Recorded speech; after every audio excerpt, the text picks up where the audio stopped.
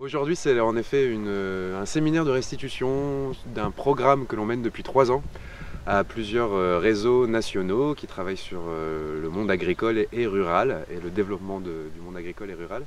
Ce programme s'appelait Agriculture et innovation sociale. Euh, c'était une mobilisation collective pour le développement rural.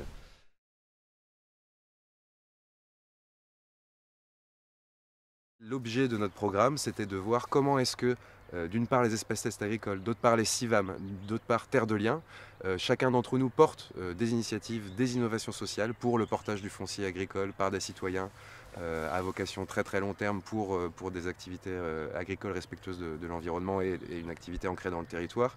Les espaces tests agricoles pour le côté justement installation progressive pour des non issus du milieu agricole, les jeunes qui sont installés ici euh, n'étaient pas du tout fils de paysans par exemple, ou les CIVAM sur l'aspect aussi euh, alimentation, notamment euh, alimentation territoriale, création de, circuits courts, etc. Pour ces questions-là, on a besoin de travailler à plusieurs. Les sujets sont complexes. Il y a des sujets juridiques, de foncier, des sujets juridiques, de cadres d'installation, des collectifs qui s'installent, des, donc des questions humaines, de relations humaines, donc des questions complexes.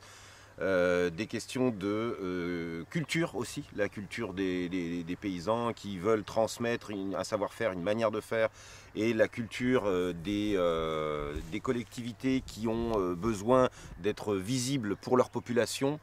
c'est des cultures qui se méconnaissent et qui ont besoin de se rencontrer. nous, c'est vraiment une occasion de, de, permettre la rencontre des cultures.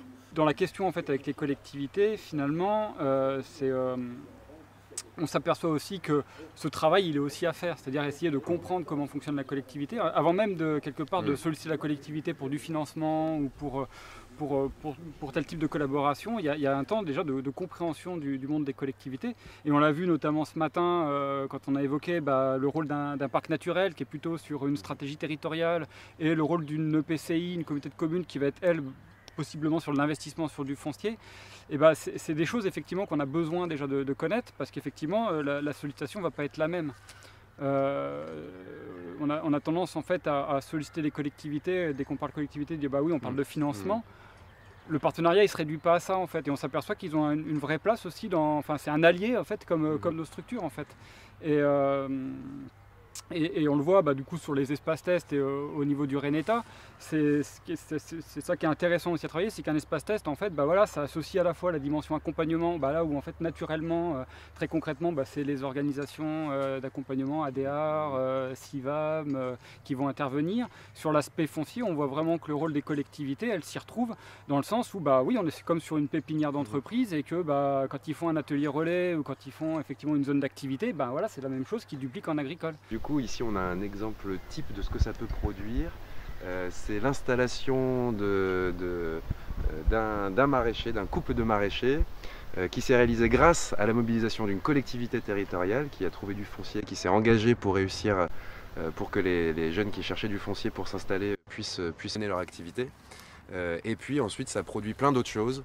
La création d'associations pour le maintien d'une agriculture paysanne, donc de la commercialisation en circuit court, on nous disait tout à l'heure qu'il y avait 10% euh, du village qui maintenant était approvisionné euh, par euh, la ferme qui est ici, alors qu'à un moment elle a été destinée à l'urbanisation. Et maintenant ils accueillent justement de nouvelles personnes qui souhaitent s'installer et qui pour ça passent par le test agricole pour tester leur projet, voir s'il est viable, constituer leur, leur circuit de commercialisation en circuit court de proximité.